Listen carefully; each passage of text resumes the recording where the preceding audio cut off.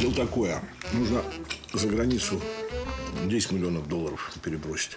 Сегодня У тебя очень много негативной энергии. И от нее нужно избавиться, понимаешь? В новой серии А где Вика? В декрете. Смешно. Вот именно. Раньше в обеденный перерыв рожать ходили. А теперь на пятом месяце уже в декрете. На каком месяце? «Мамочки». Новый сезон. Сегодня в 20.00 на СТС.